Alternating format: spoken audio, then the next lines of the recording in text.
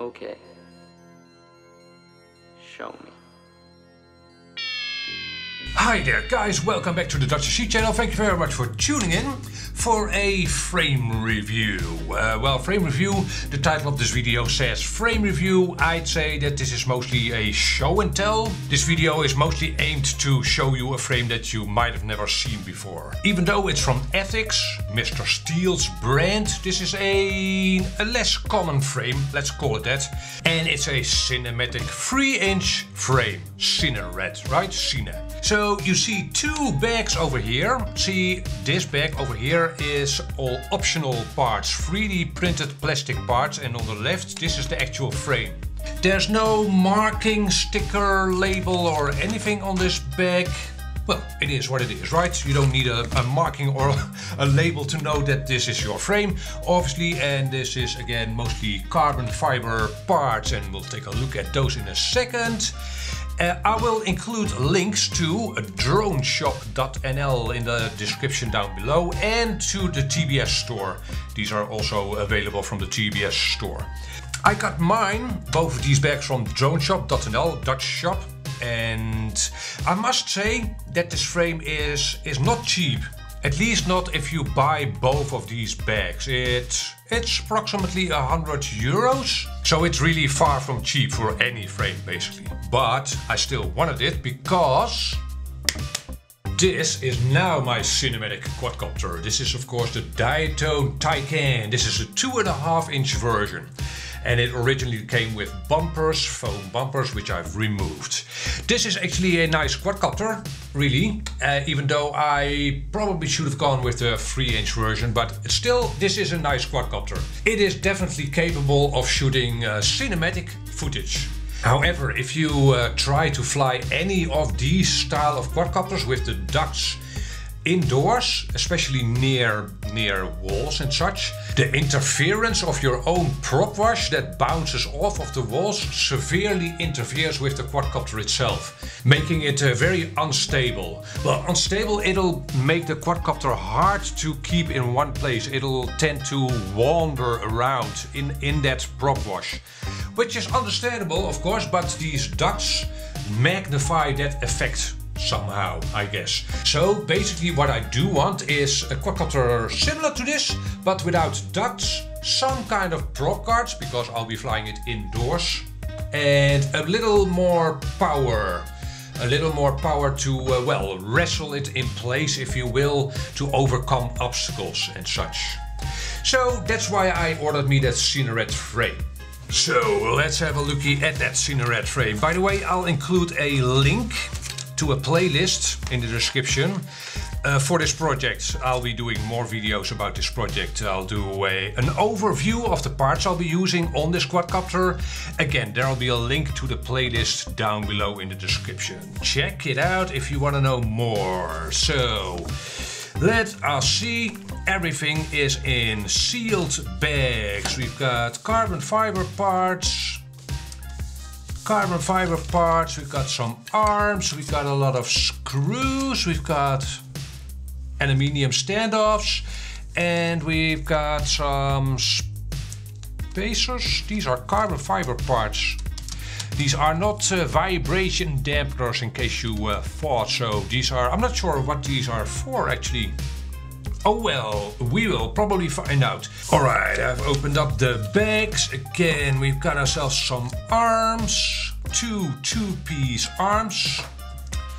And is everything clean? That's one of the first things I gauge. There's a minimal amount of carbon dust on. Basically it's clean so far. Let's check the other parts. Hmm. First impression is that it's very well cut. Definitely the, the people that cut these frames used fresh tools. There's no burring or anything. Yeah, these carbon fiber parts look the part, if you will. And again, this is not a cheap frame. Uh, especially not if you include the optional 3D printed part, so this is what you'd expect. This all looks nice. We've got, I'm not sure what we actually have yet. We probably have a bottom plate, a top plate, then this is the front two arms and this uh, the, here the rear. Yeah, I'll uh, have a look at uh, product pictures online. There's no manual, as you can tell. But uh, yeah, it uh, should be pretty straightforward, right? There are only four major parts. Then we've got some standoffs again, aluminium standoffs, and they are all the same size from the looks of it. And then we've got a lot of screws. Yeah, and again, I'm not completely sure. Maybe this, this is for certain motor uh, sizes, or maybe this is uh, needed if you want to elevate the motors further than stock. If you have very flat motors, the new style of flat motors, pancake motors. So what I'll do is I'll, I'm gonna build this frame off screen and then I'll come back to you. Here we go. And there it is, our Cinerat frame. What do you say? Does it look great or what? I'd say it looks very utilitarian, right? It looks very purpose driven, not uh, per se good looking or anything. But what I can say is that it is very, very stiff, even like this. A lot of quadcopters frames need that uh, the standoffs and the extra top plate to become really stiff. Not in this case. These arms, I haven't measured them. Let's take a looky. They look massive, absolutely massive.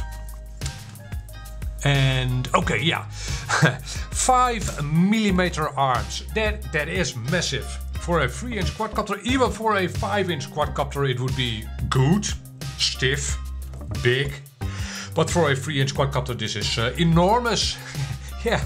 So the intent of this quadcopter or this frame is to be bulletproof, right? A cinematic quadcopter, a video production quadcopter, and you can't have this fail on the job. Maybe you'd have uh, the propellers fail, but that's it. The rest of the, at least the frame should be bulletproof. And that's why it, uh, it's this stiff. That'll probably also make it not so light, but well, again, the purpose of this frame is to be uh, bulletproof. Okay, so you've got two uh, places, spots for stacks. One 30 and a half by 30 and a half stack at the rear, but also a slidable 20 by 20. And at the front you've got 20 by 20 only.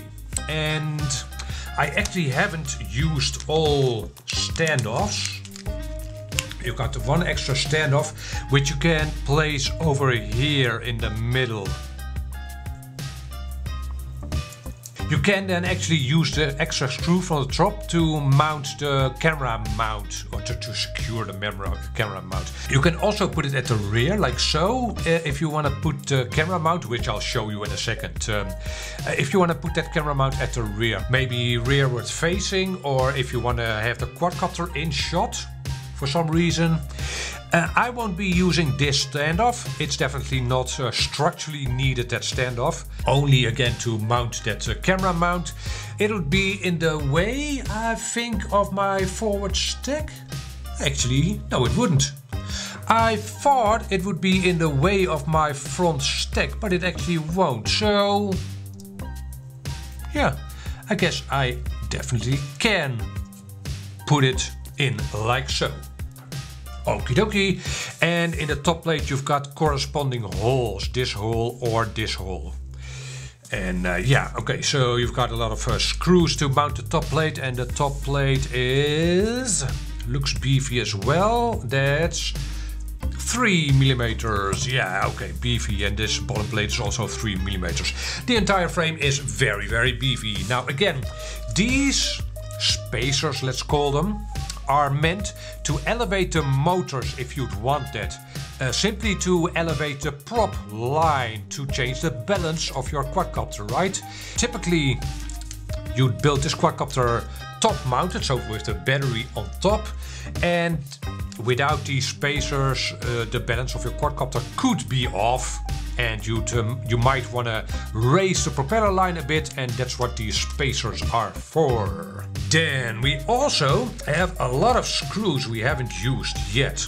These and these are all to mount your motors. Huh? most motors come with screws, right? But with these arms being this thick, probably the screws that come with your motors aren't long enough. Especially if you'd use these spacers or the propeller guards. So that's why the, the frame comes with a lot of screws in two lengths. Very long ones and shorter ones. I'm not sure how long, but uh, yeah, if uh, this doesn't suffice, you'll have to source other uh, screws. But it's nice to see that the frame actually comes with long screws and even in two sizes, so that's nice.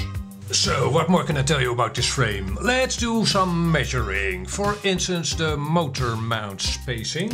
It is actually a variable, variable. Let me see, we've got uh, 9 millimeter spacing and I assume we also have 12 millimeter spacing. Yeah, okay, so you can mount 9 millimeter spacing and 12 millimeter spacing motors onto this here frame.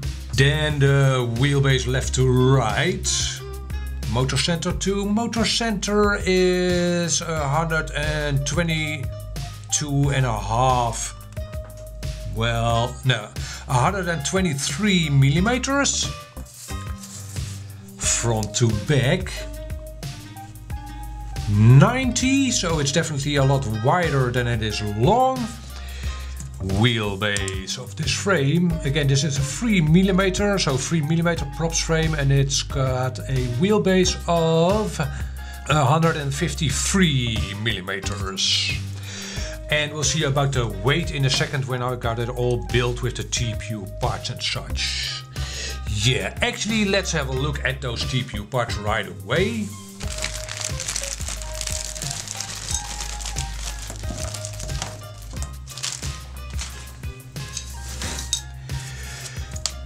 There's all my TPU parts. Quite a lot actually. So we obviously have four propeller guards which are printed. These are all TPU 3D printed parts. And uh, yeah, they go uh, two by two and they simply slot underneath, I think. I assume underneath the arms. Yeah, okay. So, as you can hopefully see, the carbon fiber arms slot into those 3D printed parts. Then we've got this camera mount, which will sit on top of the frame. That's where that extra standoff actually comes in. It'll stand, it'll fit over here. Is that true? Actually, now that I'm looking at this closer, that standoff is supposed to be one hole further over over here. And then it it will interfere with the front stick. So I, I won't be using that center standoff after all. If you are going to be building this uh, quadcopter with just one stick you won't have that problem but yeah Okay, so that extra standoff should go into that hole over there. And in my case, that would uh, interfere with uh, with my front stick, basically with my Vista set. Then we've got a printed camera mount, which uh, has holes in it which will slot over these standoffs. And this lip will go underneath the entire frame. Yeah, so I will We'll have to uh, take the standoffs off again, but uh, yeah, a bumper of sorts, a very beefy bumper at that. So uh, and a camera mount, camera protector. Then what is this? Oh, actually, we've got another camera mount. This will, well, it, this is basically an optional camera mount, I guess. It'll, it can be mounted over the rear standoffs, over here. And it's basically again a standard quick release GoPro style of mount. Interesting. Interesting to uh, also get that. Um, like I mentioned uh, in the beginning of this uh, video, it's not cheap, but as you can see, you do get a lot of stuff for your money. Even though it's uh, all plastic parts, it kinda shouldn't be this expensive probably, but you pay a little extra for uh, the design work as well, I guess. Alternatively, here at the rear, you can put this antenna mount in place. It, uh, yeah, I guess you can't have uh, have both? No. Okay, so yeah, you've got either this antenna mount or extra camera mount at the rear. And we got this part. Uh, this is probably an antenna mount for crossfire, even though I'm not completely sure where it's supposed to go. And the last thing is this an adapter. This uh, is probably a spacer, a stack mount spacer. It's not an adapter. And this is, what size is this? 30 and a half by 30 and a half. Simply a spacer, a stack razor if you will. So guys, there you have it. One Ethix Cinerat frame, a 3 inch cinematic video production quad or frame, sorry. So is this what I ordered it for? Uh, obviously I haven't flown this quadcopter yet, but it's definitely, it, it feels and looks like a flying tank. And I wanted a 3 inch quadcopter with propeller guards, but without ducts. And uh, yeah, that's definitely what this is. So if I'd uh, want to review this uh, this frame, I'd say, yeah, it's either very much what you want or very much what you don't want. There's no in between. It is so specific, this frame. This is definitely not designed for a wide market. Oh, by the way, this TPU print, I didn't really know what it was, but it's an alternate, yet an alternate camera mount. So it's an alternate for this camera mount. You'd, uh, you'd screw it down over here. It has a slight tilt for, for instance, a, a session style of camera, like so. And there's even uh, an indent underneath for a strap, so you'd then strap down the, the camera obviously. It has a very minute tilt, I'd say 10 degrees maximum. So yeah, slow flying camera mount in case you don't like these styles of um, general purpose mounts.